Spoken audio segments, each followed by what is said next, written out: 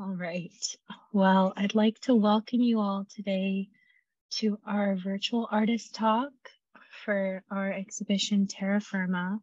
We're so excited to have this program. Um, just as a reminder, the museum is open Thursdays from 3 to 8 p.m. and Fridays through Sundays from 10 to 4 p.m. You can go to the next. Thank you. And just before everything, I'd like to start today off with a land acknowledgement. As a member of the Los Gatos community, I acknowledge that I am the guest on the ancestral and traditional land of the first people of this region, the present day Muwekma Ohlone tribe of the San Francisco Bay Area, historically and federally recognized as the Verona Band of Alameda County, I support the restoration and sovereignty of this Chochenyo, Tamien, Ramaytush, Awaswas speaking, BIA documented Ohlone tribe, as well as all indigenous peoples. And just to introduce myself, my name is Michelle and I'm the education curator at the museum. Um, you're welcome to reach out to me anytime with questions or thoughts about anything going on at the museum. And so Terra Firma is on view through March 19th. And today we have the honor of having our guest curator, Marianne K. McGrath, facilitating this program. So I'd like to introduce her first. Oh, but before we do that, thank you to our sponsors. Uh, major support for NUMU's exhibition Terra Firma is generously provided by Penumbra, the Robert Lehman Foundation, and Marion Barney Davidge. This activity is supported in part by the California Arts Council, a state agency. So a big thank you to all of our sponsors. So a little bit about Marianne. Marianne is an independent art curator after many successful years working within museums, including NUMU, curating exhibits and presenting art and education programs, Marianne started an independent practice. Her curatorial projects for art institutions and galleries aim to bring art to the community through thoughtful, diverse, locally connected, and globally relevant exhibitions. Marianne's passion for art and art education motivates her work as a curator in introducing people to art and contributing to the contemporary art world. Marianne holds a BA degree in art, and MA degree in art history, and her professional affiliations include Art Table, College of Art Association, and Women's Caucus for Art. Thank you so much, Marianne. Just a little bit of housekeeping. We have live trans transcripts enabled if you need them, and please drop any questions you have in the chat because we will have time at the end for Q&A. Thank you, Michelle. Before we, get, we begin, I want to thank the Terra Firma artists here with us tonight, as well, of the, as well as those who could not join us. To all of the artists, I appreciate your time and participation in the exhibit. It is an honor to have the opportunity to share your work with the community and talk with you tonight. I also want to thank Michelle and the NUMU team for their support. During tonight's panel, I will briefly introduce each artist and pose a question. And if you have a question, please submit it in the chat and we'll answer them at the end. Um, after all the artists respond to their first question, we will then start to ask the questions from the chat. So let's get started now and begin our panel conversation with Narsiso Mart Martinez. Narsiso Martinez makes paintings and mixed media compositions that feature portraits and multi-figure compositions of farm, farm laborers set within agricultural landscapes. The works are uniquely composed on found commercial produce boxes. Narsiso was born in Oaxaca, Mexico, and migrated to the United States when he was 20 years old. He continued his education in the US, earning his GED, an associate's degree, a BFA, and his MFA. During those years as a student, he sometimes worked in the fields to help pay for school. Today, Narsiso's work is exhibited both na nationally and internationally.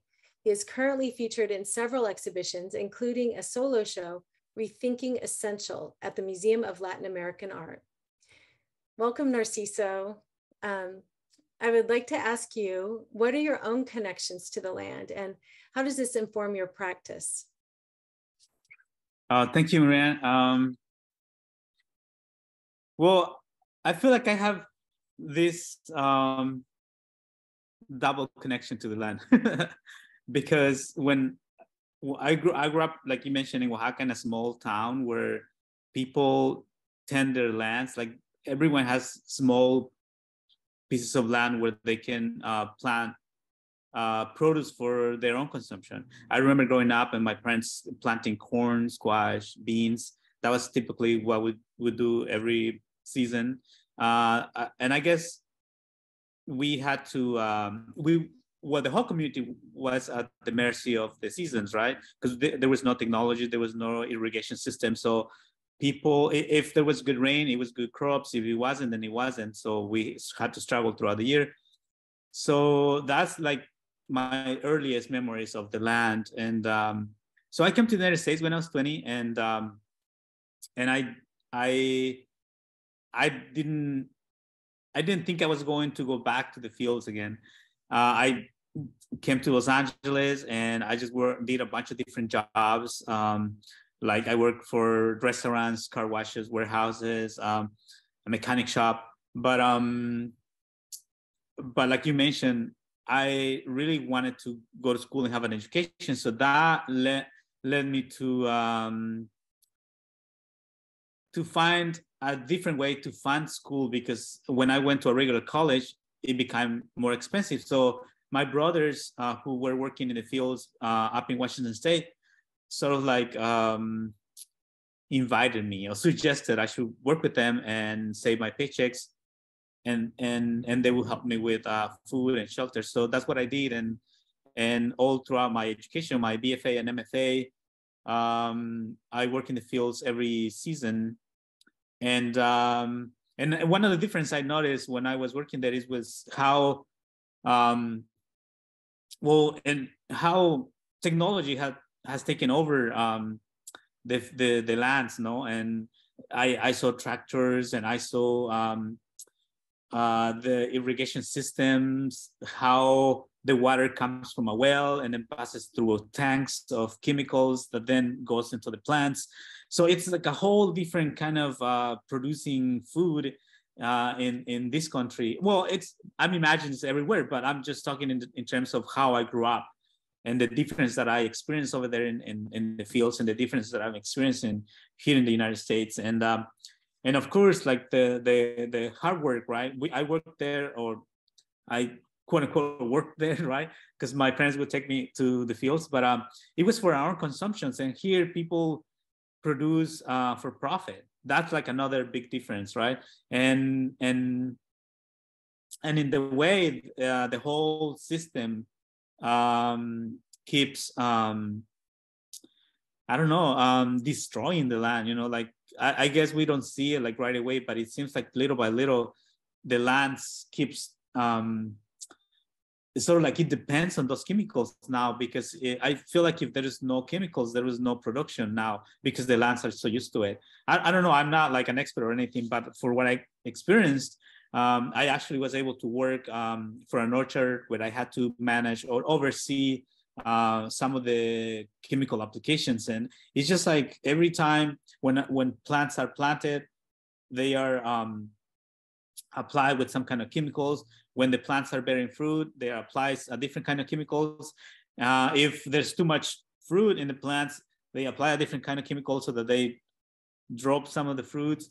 Um, if we need a branch in a, a, specific area, we apply some kind of solution so that it, so that our branches born in that specific area. It's just crazy what chemicals can do. So I don't know, like I cannot, I don't want to even imagine what it does to our systems, but uh, but yeah, that's that's my experience and my connections to the land.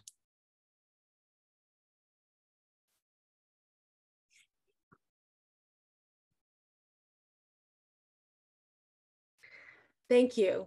Um, and thank you for joining us tonight, Mar- uh, Narsiso. I know you have your uh, next event, and so you can't stay um, as long, but um, thank you for joining us and sharing your connections with the land and your experiences. So no, thank you. Thank you for inviting me. Thank you. Um, and now we will hear from Camille Hoffman.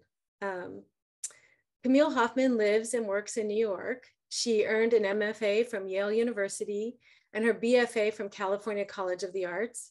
She has exhibited her work throughout the United States and in Europe. Camille's practice is a critical reflection on the romantic American landscape as she considers the embedded and latent meanings around light, nature, the frontier, borders, race, gender, and power in influential American landscape paintings of past centuries. She uses materials collected from childhood and her everyday life to craft imaginary landscapes that are grounded in accumulation, personal narrative, and historical crit critique. Welcome, Camille. Um, the question I'd like to ask you, do you see yourself as part of a tradition or an evolution when it comes to making work about the land? Hi, um, good evening. Thank you so much, Marianne. Hi, everyone. Uh, it's an honor and pleasure to be here. Um, so I, as a, as a formally trained painter, um, my work has sort of evolved um, responding in many ways to the way to the um, the ways in which history has been taught um, in school for me growing up thinking about my identity um, as an American citizen, but also in many ways how um, my um, identity as a as a mixed race person, um, as a Filipino American, um, also uh, conflicts and in certain ways um, adds to the sort of trajectory of the way that the the romantic American landscape has been uh, historically portrayed. And um, so much of as my work has kind of evolved over time as i've been thinking more critically about uh, the many lands that i've um, lived on and and and responding to um, the the sort of uh, the the nature um, i've also been thinking about um, how the materials that i collect over time um, and those materials that sort of make up my identity become an extension of that palette.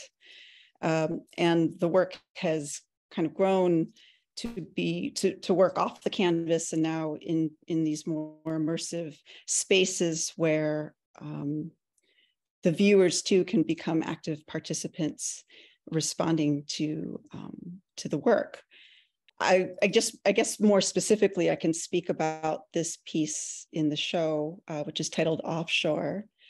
Um, and the materials included in this work are uh, acrylic paint and also stock images of uh, stock vinyl uh, wallpaper of the California coast.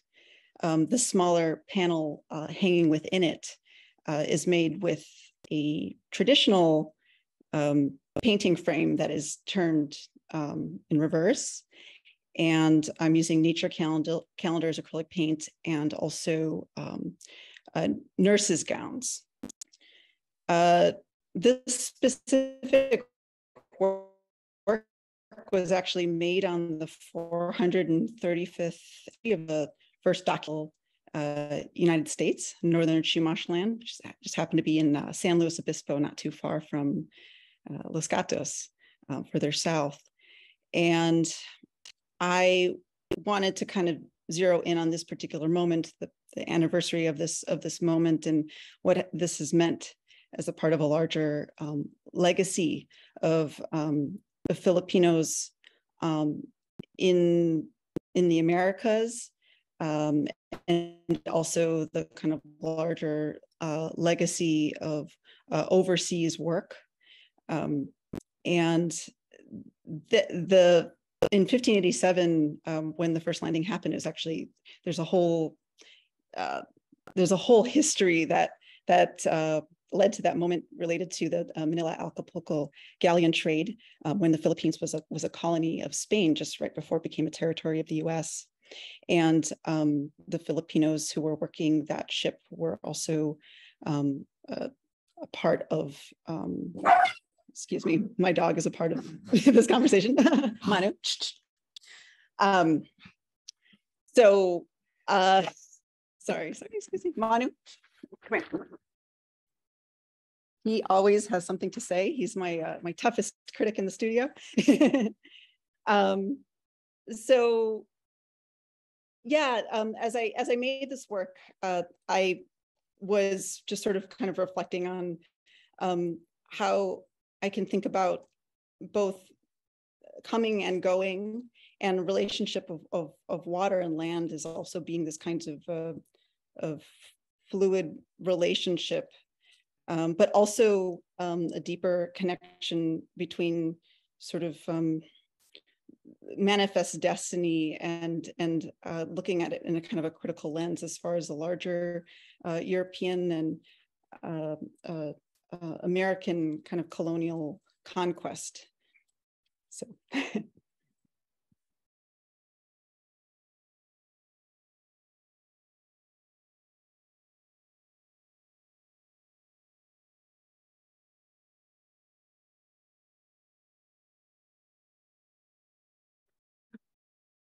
Thank you. Now you can hear me.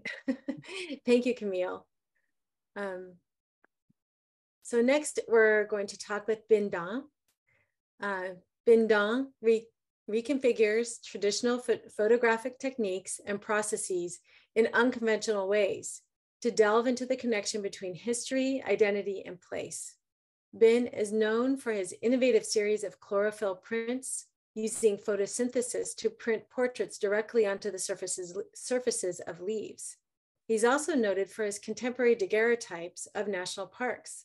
11 of them are on view in terra firma. Binh earned his BFA from San Jose State University, where he is now a professor of art, and he received his MFA from Stanford University. His work is collected and exhibited in major museums, and his new book, The Enigma of Belonging, recently premiered at the Paris Photo Show. Welcome, Binh. Um, I'd like to ask you, um, tell us about your work in terra firma. What inspired the National Park Series? Great. Well, thank you, Marianne. Um, so very simple question for me. Thank you so much. Um, although I love all the questions you posed, and I didn't really have a, a preference in which one you wanted to ask. But this is a this is uh, um, so this work in the exhibit started about um, maybe 12 years ago. I started um, playing around with the daguerreotype process, and as uh, many of you know, daguerreotypes were the first photographic process um, invented in 1839 It was the first time that people could make pictures of themselves and at that time, it was mainly used for portraiture photography. It was not really used for landscape photography because of the way the process worked. It's a little difficult to make um, in, in the land. So with that challenge, I wanted to um, just to take it out into the landscape. Um, and one of the neat characteristic of the daguerreotype is that it's a mirror. So it's known as a mirror with a memory. Um, it's basically a, a, sheet of silver exposed in the camera and then developed over warm mercury. And then you have a one of a kind photographic image um, called daguerreotype. The one uniqueness thing I like about the mirror effect is as a viewer, you also see yourself in the picture.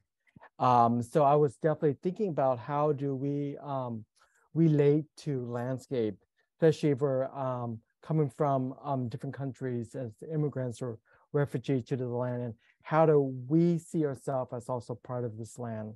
So hence come the national park as a space for americans to to deal with these ideas of um, of democracy. You know this is a space of a democracy. Um, and so that's sort of how reason why um, the series started.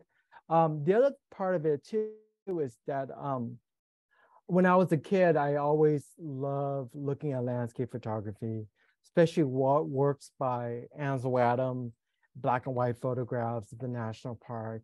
And growing up, you know, I never really, uh, my family never really had a chance to go out and into the wilderness. It was something we we did, you know, even to this day, my my parents think going out into going camping was a very weird thing, you know, and they tend to associate the word camp with refugee camp. So it was sort of that idea that, you know, you're going to be exposed to the element. It was something we did when we come to the US. Um, but in America, camping, it's a very sort of like an American thing to do. You know, growing up, I would see pictures of my um, friends going over their house, seeing pictures of them going camping. And I always wanted to do that. And, and, and, um, and I always wanted, wanted to make pictures like Ansel Adam too. And it wasn't until diving in with the daguerreotype process I was able to sort of almost recreate these photographs, these imageries, these vista that we're so familiar with in a very new way, in this um, way that we can also reflect on the, the, the actual location and on our own identity in, in relationship to, to this land. So yeah, that's uh, that's some some reason. I look forward to. Uh, um, if you have any other questions, feel free to put in the chat box. So thank you so much. Thank you, Ben. Okay, now we are going to move on to um, Natalya Burd. Um, in her most recent body of work, Natalya Burd uses saturated color, reflective plexiglass, and mirror to push the boundaries of flat surfaces and create shimmering environments. Working at a large scale gives her the opportunity to play with illusion and perspective to recreate the experience of being within nature. Natalya earned her BFA at Oregon State University and an MFA from University of Washington. Natalya also received an MFA from Moscow State Academy of Art and Industrial Design, formerly Stroganov School of Applied Arts in Russia. Her work is, is exhibited nationally and abroad. Hello, Natalya. Hello. Uh, hello again today. And uh, as it relates to themes about land, how has your practice changed over time? Um, hi, Marianne and everyone. It's a pleasure to be here. And um, I'm fortunate to have two pieces on the show, and this one and one piece called From a Serious Voyage, the way it started.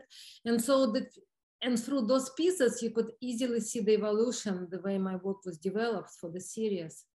So the first piece, Voyage, was based on my travel experience when I was a kid traveling with my father from Kyrgyzstan, where I was born, to Russia.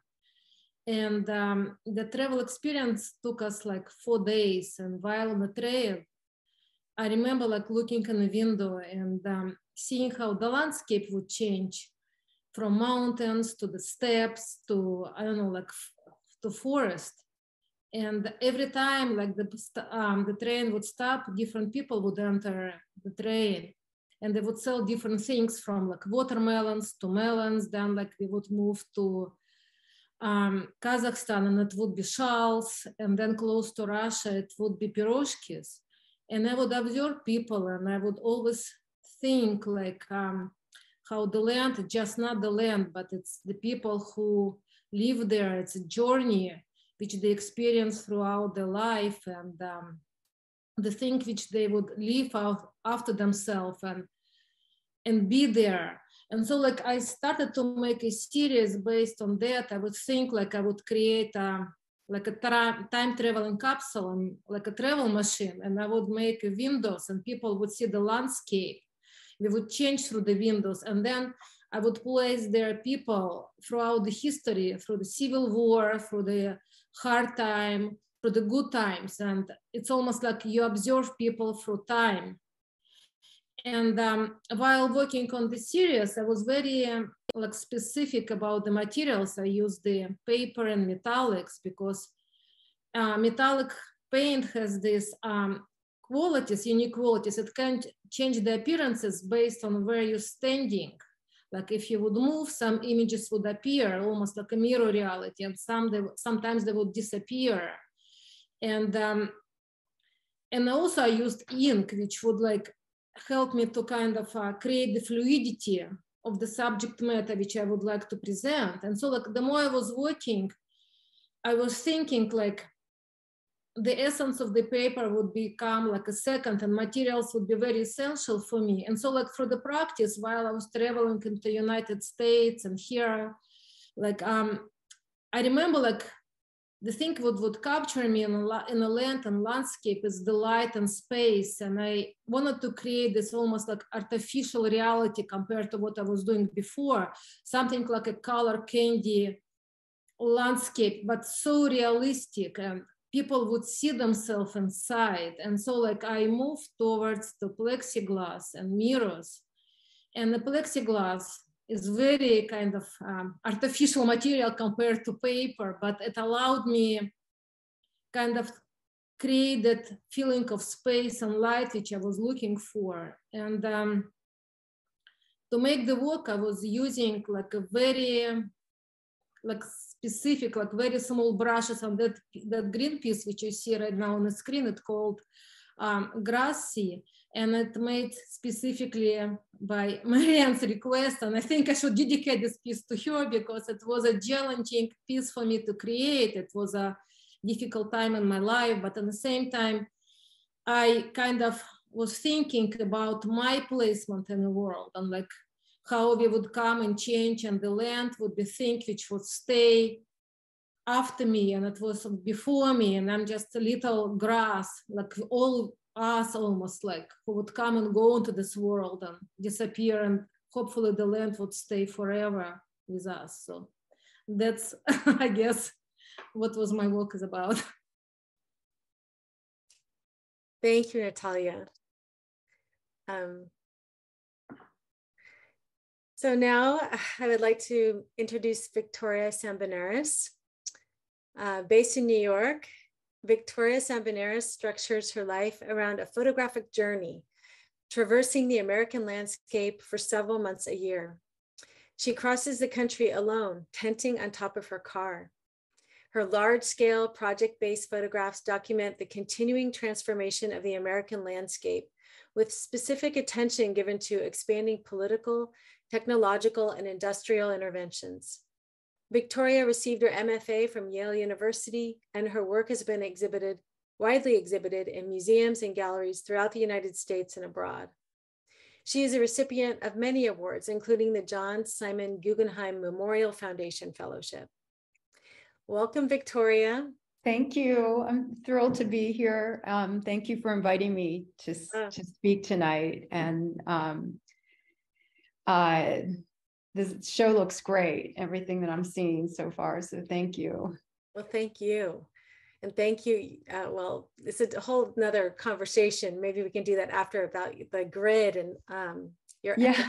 direction and everything. But what I want to ask you right now is, has the land always been a subject that interests you?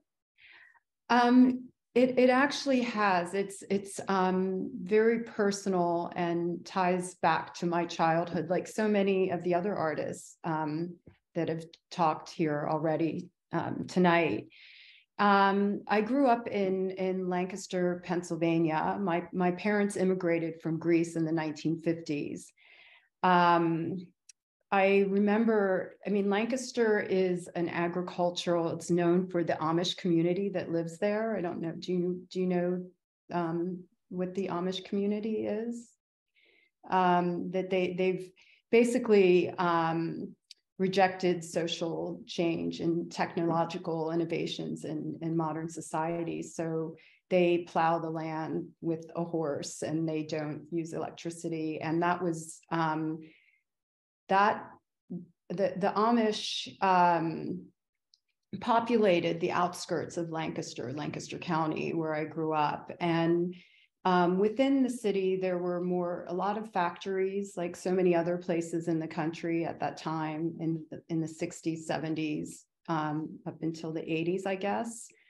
Um, so uh, my family, my parents worked in those factories, and um, uh, we would take drives out to, to the countryside. Um, and I, I, remember seeing, you know, the Amish plowing their land. And um, so that those drives kind of stuck with me throughout my life. And um, I, I would, um, I left Lancaster and I went off to college. And um, every time I, I returned to Lancaster, I would see the periphery of the highways changing. All, all of that farmland was being developed from wherever I was traveling from, whether it was from um, New York or um, up and down the east coast of, of the country. I would see changes along along the landscape, and so that became the the locus of of my work and my interests that tied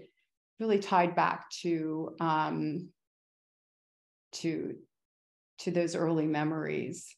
Um, so the landscape has has I mean I've made my life around driving across the country and doing what we did as a, as a child and as I as I was a child.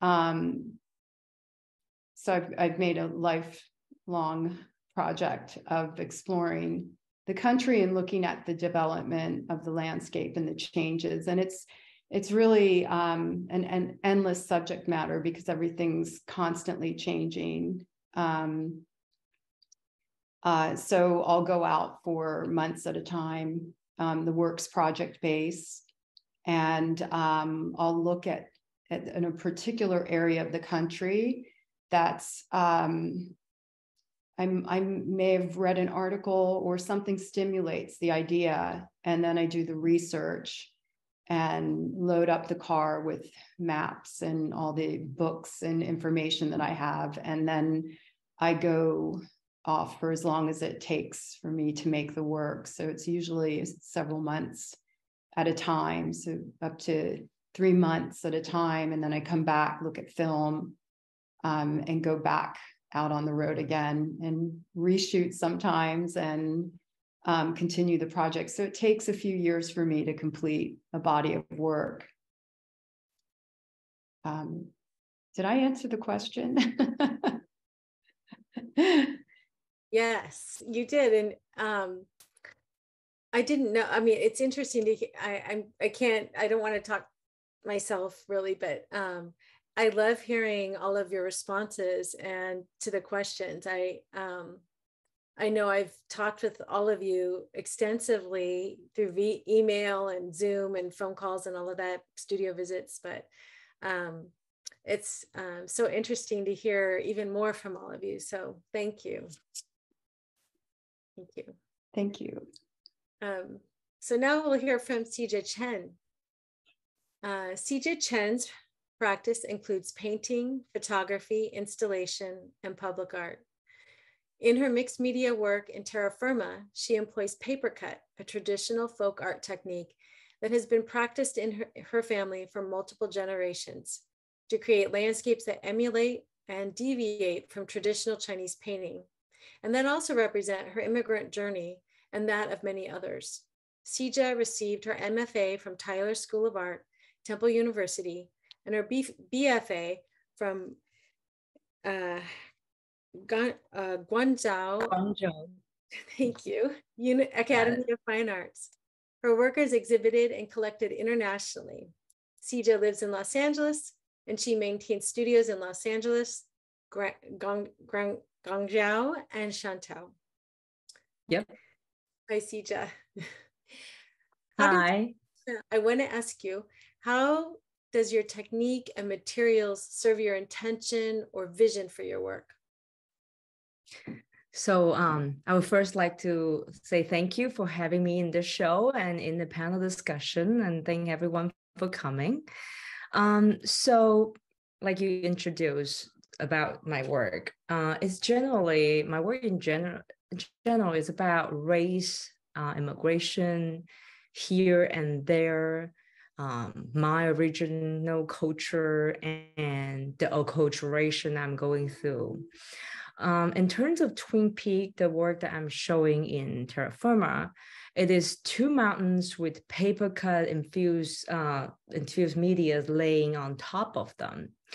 And I created this work during the uh, during the pandemic when I cannot visit home in Shantou with my uh, to see my uh, families. So this work helped me cope with my separation uh, from them. And because as the two uh, the two peaks are actually from two different mountain ranges, uh, one from my hometown of Shantou, and the other from the Hollywood Hills, which uh, is in uh, my backdrop of the home that I live in in Los Angeles. Um, but Twin Peak was also part of a larger series called Across the Water and Climb the Mountains, uh, which was my interpretation, my uh, excuse me, which was my uh, my interpretation of my experience as a first generation uh, immigrant and the experience I share with many others.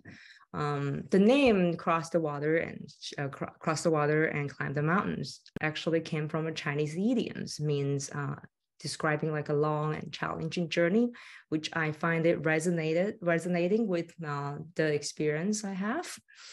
Um, but then in terms of the technique, it's the technique I use is called paper cut. Excuse me. It's a folk art that, like you said, in my family for generations. My dad is also a paper cut artist.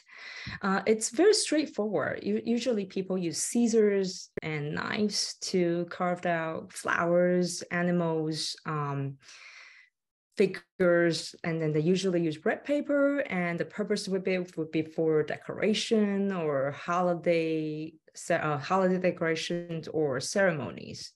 And using this technique made me feel like I'm reconnecting with my root, my families, my culture. Because I, the longer I spend outside of my home, uh, the more I find myself longing for that connection to remind myself who I am.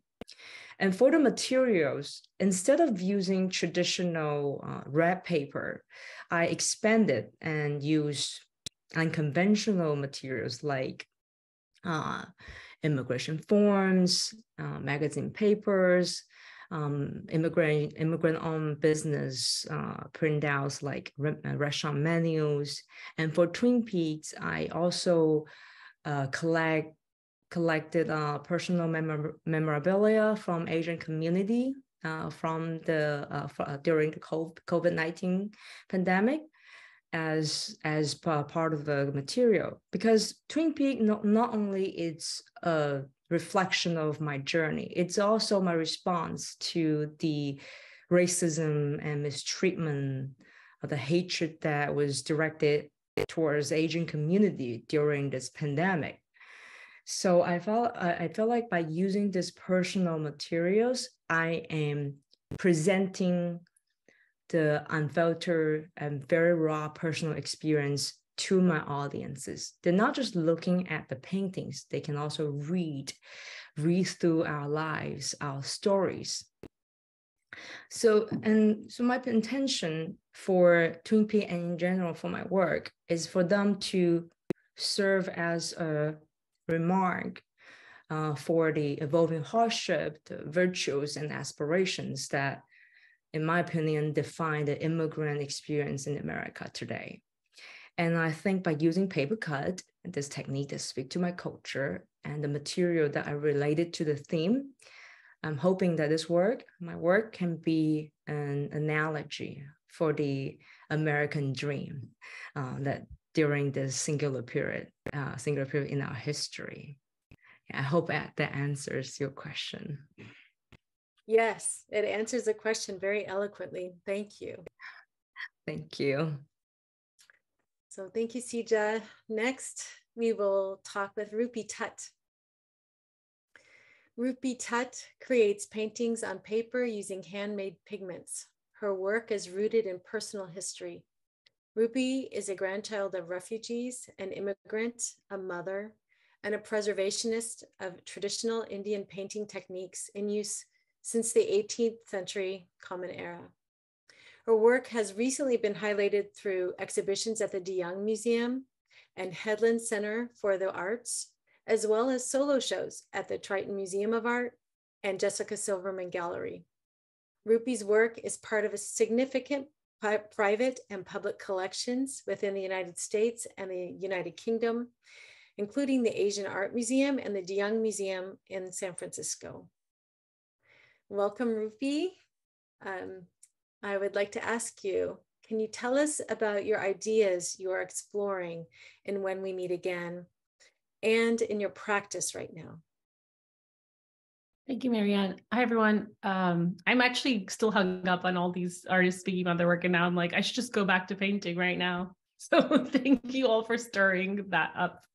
Um, how um, the ideas that I'm exploring in this painting that's titled When We Meet Again, and I apologize for the picture not being as lit up, but um, you know, as a traditionally trained artist, the idea is always to connect and be a bridge between the past and the present, no matter if it's through the painting style, through the subject matter, through me, through anything. So I think just my purpose in life is to be that bridge um, because I feel like we are not informed for our future if we don't learn from the past. Uh, and our present is not well lived if we don't reflect on both the future and the past.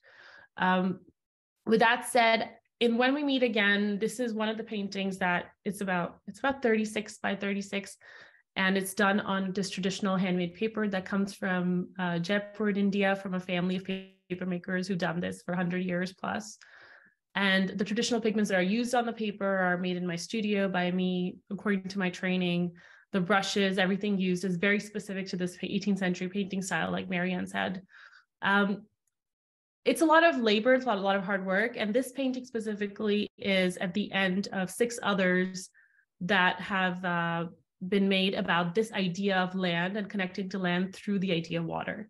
Because as an immigrant, as someone who's a grandchild of refugees, and as someone still trying to find footing in a in a land where being brown is not necessarily a position of acceptance and power always, and also then having children who are also going to live in that social and political landscape, um, I feel like land is very similar to water and it's constantly shifting. Uh, and this piece was the last piece and had to be kind of a piece where me tracing back the history and the personal tragedies in my family during partition of India when Pakistan and India were divided and created, you could say.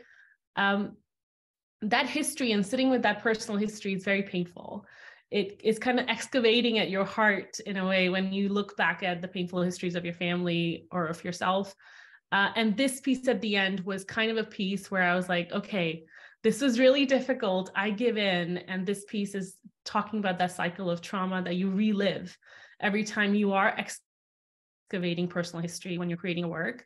Um, and you know, you end up with only one piece of hope that you cling to, which is that, um, hey, at least I'm making something out of it a hopeless situation that is resulting in a hopeful presentation of a history that needs to be spoken of, needs to be reflected back at, not just for me, but also for the community around me.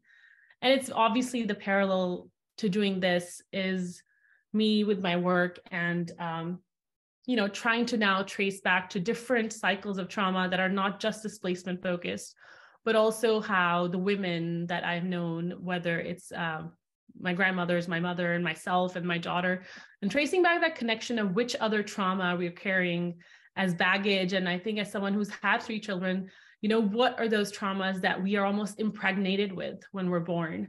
And then we carry them in this heaviness in our heart. Uh, and I think that's where the practice is evolving to right now. But I think that cycle of sitting with the trauma that you experience, whether it's yourself or your community, um, and not knowing what to do with it always. Um, I'm lucky that I'm an artist and I can do something about it, but there's still a lot of silences that need to be, you know, touched and poked around. Uh, and I think that's what this piece specifically is about, about how painful that silence can be. Uh, but at the same time, that's just what my work is right now. And uh, yeah. Thank you, Rupy. Uh, now we are going to hear from Shara May. And Shara Mays is a visual artist whose work is deeply rooted in her painting practice, using the medium to explore the fluidity of memory and the transcendence of self through the language of abstraction and landscape. Born in Tarboro, North Carolina, she currently lives in Oakland. Shara received her BFA degree from the Corcoran College of Art and Design at George Washington University and her MFA in painting from the San Francisco Art Institute. Her work has been exhibited in galleries and museums such as the de Young Museum of San Francisco, Root Division, the Diego Rivera Gallery at the San Francisco Art Institute, and Jenkins Johnson Gallery, and NUMU. Her work is included in both public and private collections. Welcome, Shara. Thank you. Tell us about your work in terra firma. What, what inspired this piece? Okay, well, thank you all for having me, and thank you, Marianne, for letting me be a part of this amazing exhibit. Um, I am specifically uh, using landscape uh, as a personification. Um, and so what you see here is a painting called Helen, and it's from my heap series, heap being a pile of or um, an overabundant amount of. And what I try to do in these paintings is to depict this Eden like environment um, that's filled with beauty, but it's also filled with overabundance and, and decay. I'm really interested in exam- examining the beauty and the chaos of the natural world through the lens of abstraction and um, landscape and the language of those two um, ideas in, in art. Um, and so the last few years of my work um, has evolved quite tremendously um, from a focus on Southern landscapes. Uh, as Marianne said, I'm from North Carolina, from a very small town, uh, poor town, population of like 2000. It was the first freed slave town in um, North Carolina, um, and it it um, has a. It's like basically swamp land. Um, a community built on swamp and marshland, um, and so every few years, because it's it's relatively cl- close to the coast, um, there's a hurricane that causes a lot of, of damage in the town and the town has to like pick itself up again and a lot of my family left um, because we wanted to seek better opportunity. So I was painting a lot of landscapes that focused on those family struggles. But then I decided um, at a certain point in my studio that I wanted to just kind of nip that in the bud. And I wanted to just chase independence and freedom through the literal um, act of painting.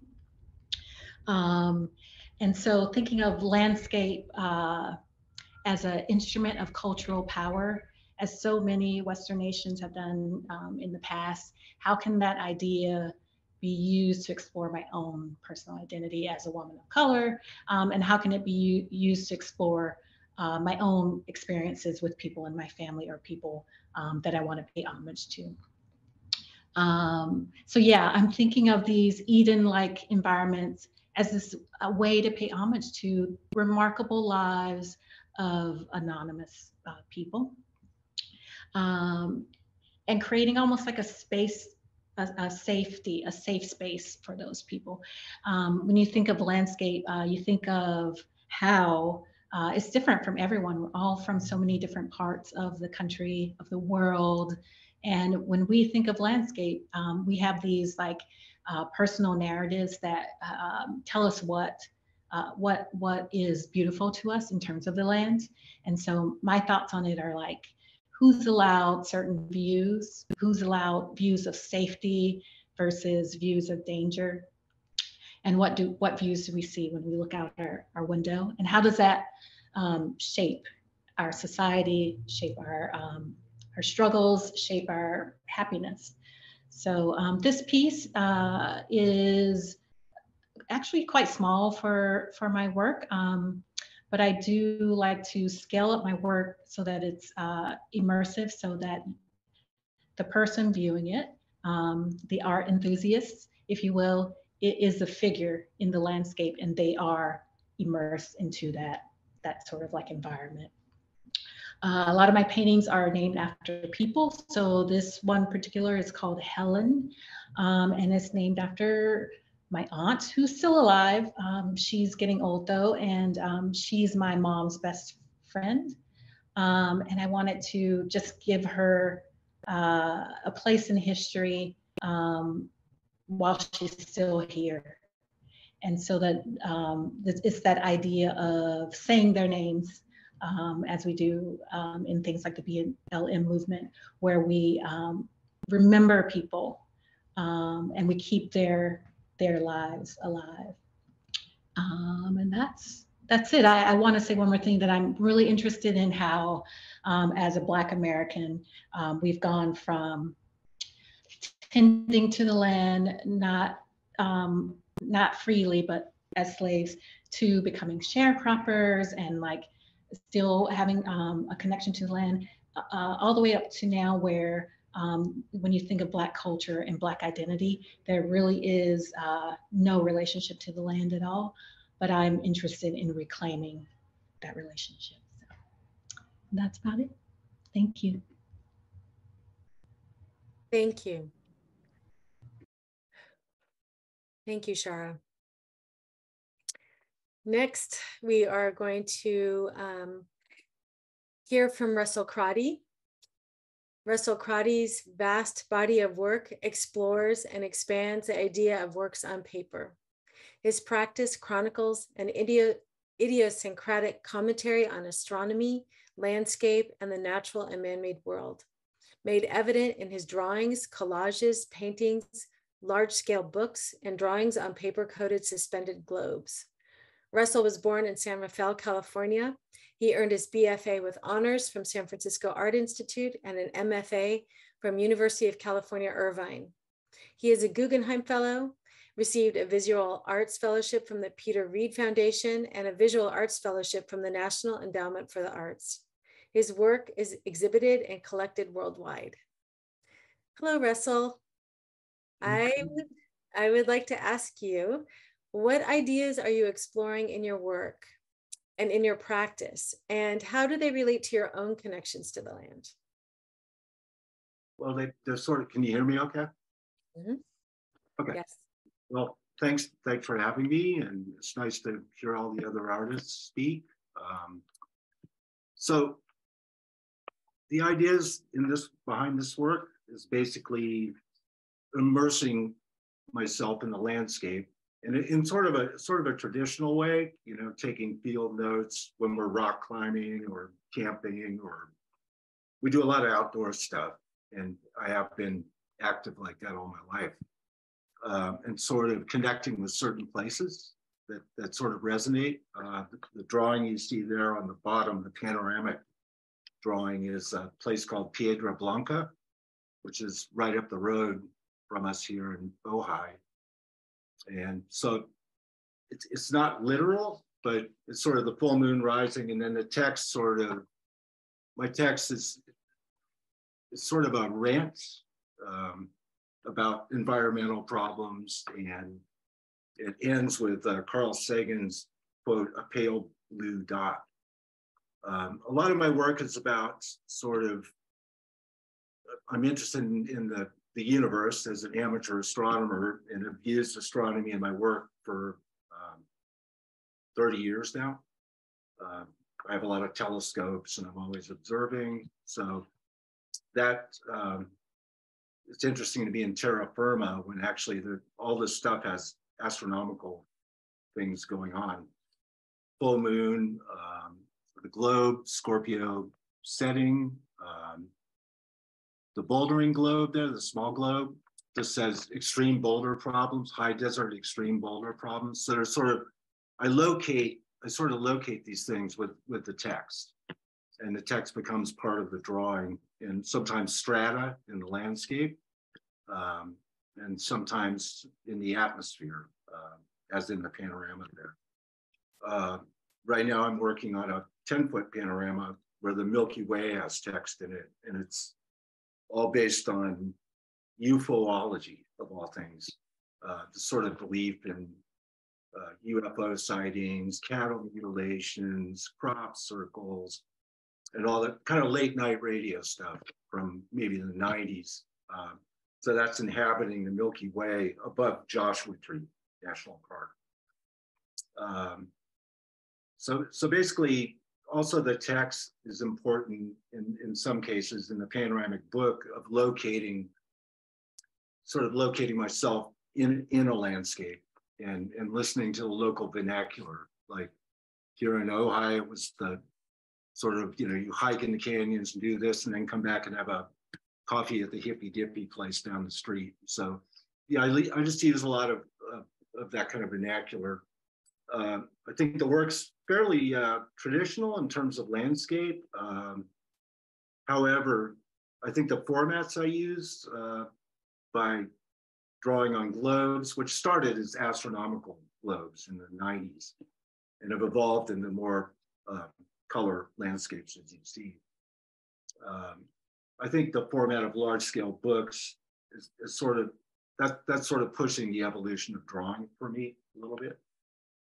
Um, and yeah, I think that's that's pretty much it. It's definitely being connected to something bigger than ourselves.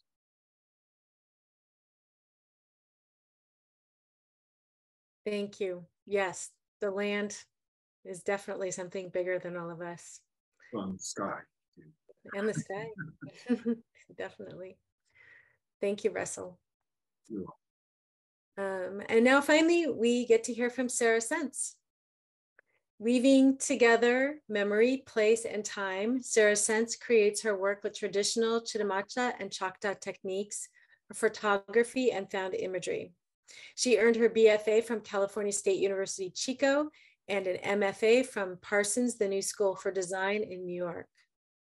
International artist residence, residencies are a part of Sarah's studio practice and, and include a Smithsonian Artist Fellowship for the Chitimacha Reservation, Banff Center, Arizona State University, Santa Rosa Factoria de Art, Santiago, Chile, and Rainmaker Gallery, Bristol, England. She is currently a visiting fellow at the British Library, London.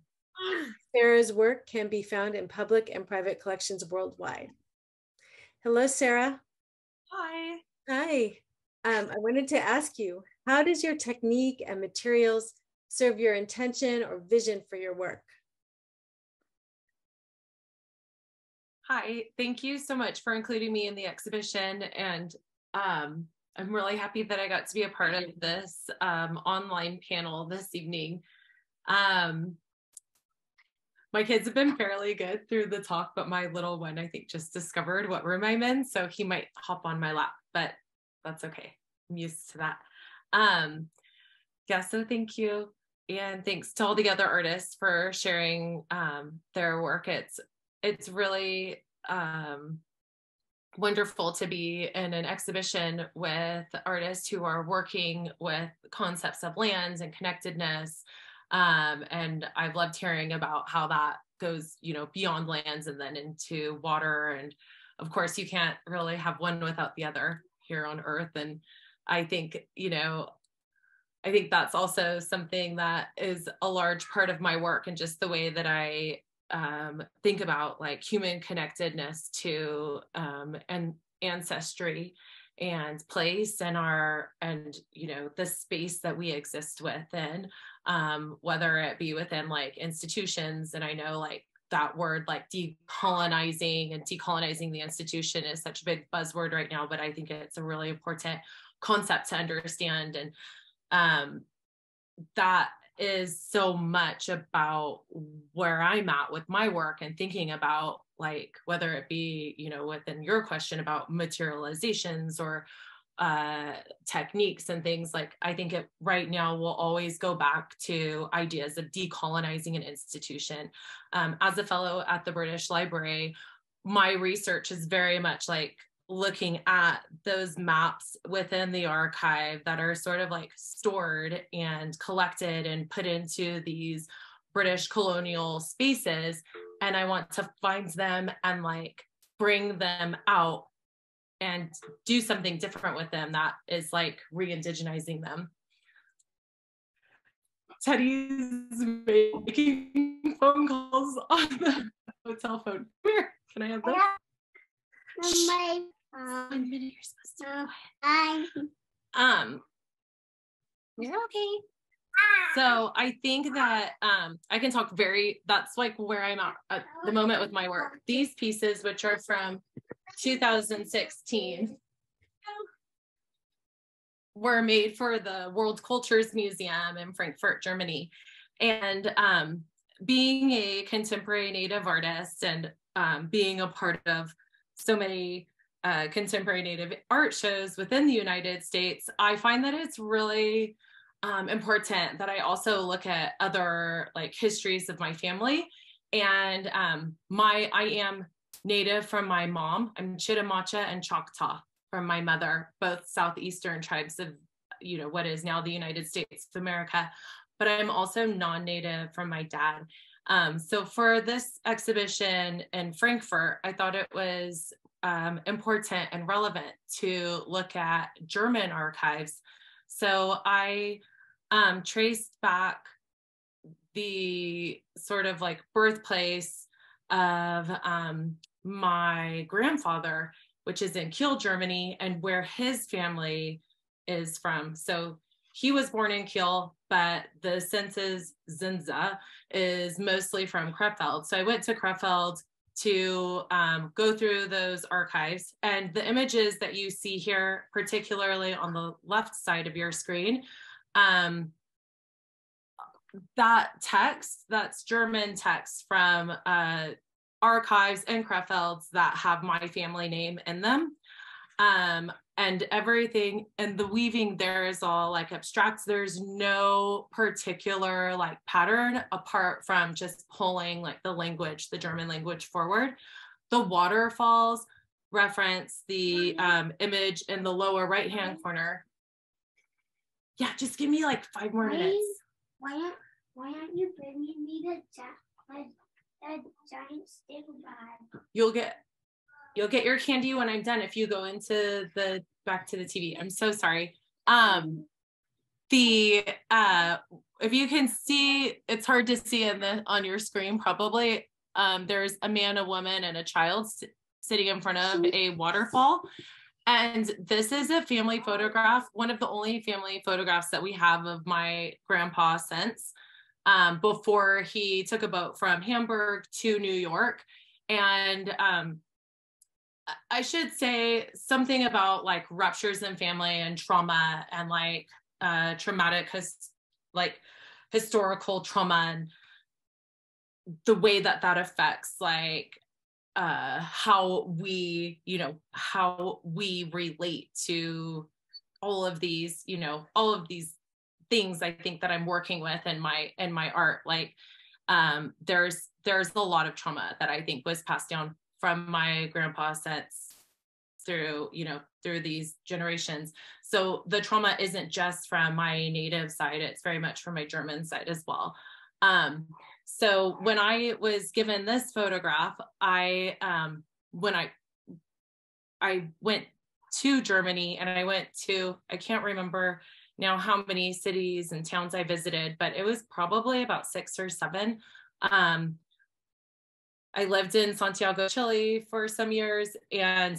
I lived with a lot of Germans there because of like just the house that I that I was in. It was a lot of like exchange, like professionals and uh, students, and um, I lived with Germans. And when I went to Germany, I was very graciously accepted into their homes. And this one home that I went to in Fischenbach, um, which is in the Black Forest, um, we decided we would go find that waterfall where my grandfather was photographed. So the waterfalls that you see there are that's a part of that like search for looking for like this location of where my grandfather was photographed before he was you know went on a boat and was moved to the United States, which has all of these other like implications and stories to it. Um, this was a was right before World War II. Um, so it's not so much about the waterfall. I think it, of course, like has to do with just like that history and like me longing to like understand or be connected to, or I think in the most eloquent way that I could possibly say it would be to try and understand like where somebody comes from so that I can come to a place of love towards somebody rather than a place of like anger or frustration or if that makes sense. Um, the image on the right hand side which is from the same series and was also for the world cultures museum is imagery of ireland um, there's a poem that's written through all of this work that I wrote when Archie was born. Um, Archie, my oldest son, was born in Ireland. Um, my husband is British, and because of immigration, we had to move to Ireland and and wait until we were allowed to live, you know, in one of our own countries to be together. Um, and when I got pregnant with Archie and then in Ireland and then had my first son in Ireland, we were living um, in Connemara at the kind of like at the foot of a mountain in front of a lake. So everything around me was about like land and water. Um, as you probably know, the north west of Ireland rains constantly. So every there's just like water and moisture around you all of the time. And it gets dark in the winter. And Archie was born in the winter. And when he was two weeks old, um, I walked to the lake. That I was walking every day because it was dark. So I was trying to keep my mood up. And I walked to the lake and it started to rain on the lake. And I had Archie attached to me and i just started to think very like deeply and meditatively about what it meant to have a son in ireland and who had british parents a british father and a chitimacha and choctaw mother with also other like european uh, ancestry but yet he's born in ireland. And so the poem that is written through there is very much about like um, it's called does water have memory?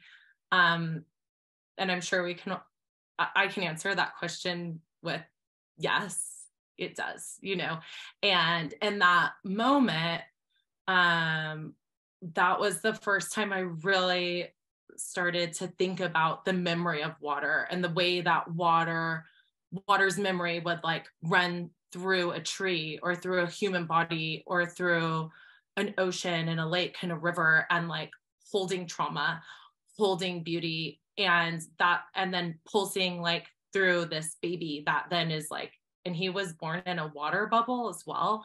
So like then he's born in water like he's in this protective like water case. So I was just thinking about water so differently and like the way that we're connected to land. And, um, you know, even though Archie was born to parents that didn't have Irish citizenship, um, there's a law that if you're British and born in Ireland, you get an Irish passport. So he is Irish and he's so proud of it. So I think that these works, it's of all of the I think it's really interesting to have these two side by side because one is very much being connected to like a grandfather who I was sort of like shielded from and protected from because of his violent nature. And then there's then this other, um, you know, this other piece that's very much about like love and like understanding being connected to land. So it's like reconnection to a land that is so distant because of family rupture and then being connected to lands like in the most beautiful, intimate way. Hi. um, I think that's all I have to say. Thank you, Sarah. That's great. Thank you. And I think they did really well. they did great about it. I'll pause myself again. Um, so thank you, Sarah. And now let's see if we have any questions in the chat. Um, oh, we do. Great. Um, okay, let's see. For all the artists, um, since landscape can be an, an, analogous to for many types of stories, when you choose a vista or type of topography to portray, do you choose based on a certain allegiance or familiarity, or based on the symbolism of certain natural elements. So um, I'm going to open that up to everybody. Um, and if you would like to answer it, you can raise your raise your hand, I guess, and speak. Um, so familiarity uh, plays a big role in what I do. I don't, I don't know. Uh, places that you see under different conditions and you experience different things there. And you meet a lot of other people that that have that same love for that place. Um, so that can develop into something. But yeah. Plays a role for me okay thanks. Anybody else um, I think I have to agree with Russell. Like for me, it's the same. Um, I need to know the place which I'm working with, and like usually I travel a lot, and then the place just speaks to me, you know, and I take lots of photographs, and then my work based on that. And even though like sometimes tell a story about the people who live on that land, um, just to be on that piece of land is very important. Just like almost to feel it with my whole body and to live it through the photographs and then I do history about that place and stuff like that. So thank you. uh, TJ, where are you gonna go? Go ahead. Uh, sorry. I would say to me it's a combination of both. Like I mentioned earlier, for example, my work Twin Peak the the peaks are from specific, very familiar mountains to me. Like one from my hometown, one from my LA, so it's familiar. But also mountains, I chose it also as a symbol because in the phrase in the phrase I uh, the the idioms I was referring to, the title of my series, "Cross the Mountain, Across the Water and Climb the Mountains." Mountains represent or is symbolic of something uh, some, some kind of obstacle, a difficulty, something that has to be overcome. So I chose it for that reason as well. As well. So for me, it's a combination of both when I choose. Uh, choose the subject matter or choose what kind of uh, what kind of mountains I'm depicting.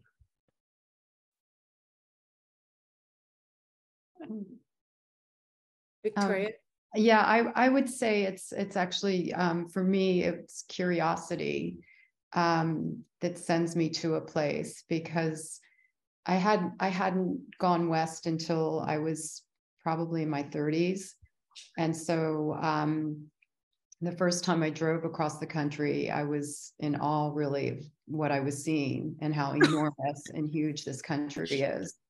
And um, at that point, I I thought this this work um, this um, this work is cut out for me. Like I'm I'm have I have work for the rest of my life exploring this country, and so there's something that um, I'm curious about that sends me to a place, whether it's you know the U.S. Mex driving the U.S. Mexico border in 2016 before it became. I mean, it's always been a political issue, but um, it it became a more a, a more of a political issue of late um, or driving up to Alaska and following the pipeline north to um, Prudhoe Bay um, and exploring that landscape. So it's always something that I'm curious about that sends me to a place to explore. Thanks. Uh, for me, I want to chime in and say that um, uh, for me, it's actually about memory, which is related to being familiar with something. But um, since I try and paint without references, um, and I take a more sort of like malleability to the landscape, I um, think of how a childhood experience of the land has kind of changed as you get older. And so, for instance, my my references uh, in my head um, probably are amplified. Um, you know, references of North Carolina are amplified because I'm no, I'm sort of removed from that, but um, it's still that language of familiar familiarity. But I really am interested in how that breaks down or gets embellished um, as we get older, um, and you know, how how do we portray that as artists? Thanks. I just, uh, that was really beautiful the way you said uh, amplified, actually. Uh, so, uh, thanks for that. I work completely. Uh, so, I actually have a fear of the water, but I painted very often. And uh, for me, because I grew up with bedtime stories of a land that my grandparents left, and then I left when I was 12 and I came to the US. And then now I'm a parent of three kids kind of stuck in our house. There's many places I can't go to. Um, there's many places I haven't been to or won't go get to go to because of all three of those reasons for now. Uh, so for me, my paintings are a visit to that place. Uh, there's no familiarity at all, which is for me the the process of familiarizing is to paint it. That was a beautiful question, Julie. Thank you.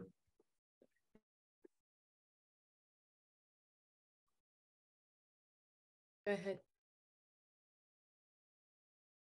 Yeah, with with my work, um, so much of it is about reclaiming these um, mass-produced or overly romanticized iterations of landscapes that usually um, are advertised or marketed as like an idea of a place, but really void of um, specific historical context or um, even like human presence.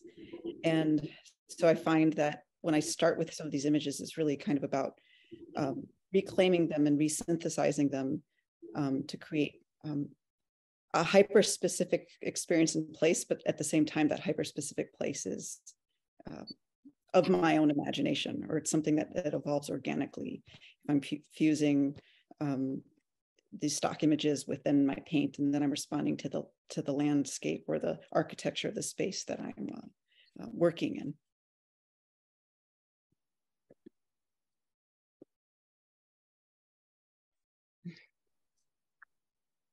Does anybody else want to respond to the question? I think maybe everybody has. um, How about you, Marianne? How do you feel about landscapes? Oh, gosh. Um, well, obviously, you can tell already that I have a love for the land. I spent, um, I'm outside walking around places um, most mornings um, and I think um, for me, land, um, it connects me to memories, you know, certain places. Um, it's memory, it's um, identity, you know, being from one place or another. I feel connected to places that I maybe even haven't lived in, but because I know my ancestors are from certain places, I feel um, an affection for that place or a, um, a comfort that I didn't expect when I visited some places. Um, and it's also a great source of um, just, um, it's like a meditation for me to be outside. It just like makes me feel good um, to be outdoors. I need to be outside every day, um, especially during the pandemic. Um, that's when I mean, I always I've been walking um, daily in the hills around here in Los Gatos, um, and even just in my own neighborhood for for years. And um, during the pandemic, I just walked and walked, and I walked a lot. It it was it was like meditative, but it was also healing and calming um, so for me it's a lot of things and it and it's just so beautiful. Um, it's so beautiful. Um, um, it's nature's artwork right? So um, you know, is that a good answer? Yeah. Um, and and you know the reason why I did this show is I, I done I had done a show at NUMU when I was on staff about water um, just a few years ago, and i always felt like there's this other piece you know um, somebody had said like you can't have the land without the water. I think it was sarah was talking i think it was sarah. Um, you know the two go together. And so i always felt like there was this other um, this another show that i wanted to do and, and uh, this show about the land. And i had been thinking about it um, and again during the pandemic i just wrote a bunch of proposals and and um, and wow, they all got accepted. So, so these shows are happening. Um, and I'm just so delighted um, that you're all part of it. And um, I see, I love all your work and I, I see um, something really special in each one of the pieces and, and everything you make. You know, some of you made things especially for the show too, which is really, um, you know, really incredible. So thank you. Thank you for everything. And thank you to Numu tonight for hosting this. And um, if anybody, I don't think we have any more um, questions. And we're almost at 6.30, so we should all go. Um, people on the East Coast are probably tired. and I think everybody out West here, we're hungry and we want to go eat something. So um, I just want to thank all of you and, you know, um, thank Numu for all their um, support.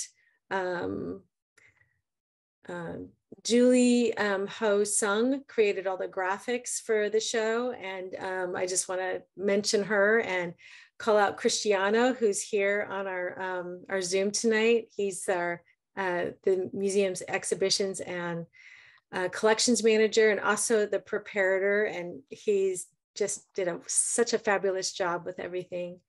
Um, and just everybody. I appreciate um, all of your energy and work and um, to make the show a success.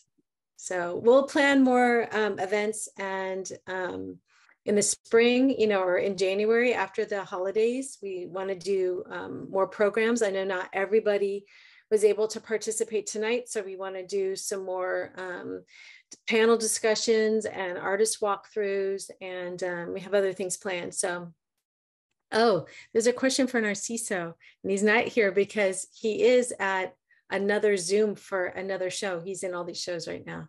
Um, in the change that you felt with your relation to Lynn through your working the land. Oh, that's a great question. Well, we need to ask him. Maybe we could get him to come talk to us in the spring, but um, we'll save. Well, I have to um, save the chat. So I'll figure that out. Oh, okay. I can send it to you. okay, great, great. Then I won't figure it out in front of all of you. Thank you. So well, I just want to say thank you, Marianne, for all the work you did to curate this beautiful show. It's a really big deal for us. We're so excited to have all of these artists here together.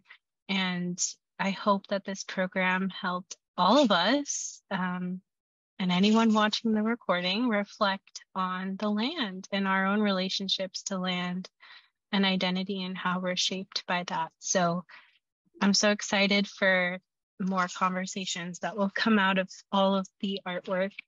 And Terra Firma is on view until March 19th. So definitely come see it in person. We're open Thursday through Sunday. And you can find all of that info on our website. So thank you so much, everyone. Great to thank see you. you. I wish we were all here together in person. but thank you for being here tonight. Thank you. Thank you. Great. Take Bye. care. Bye bye. Thank you, everyone.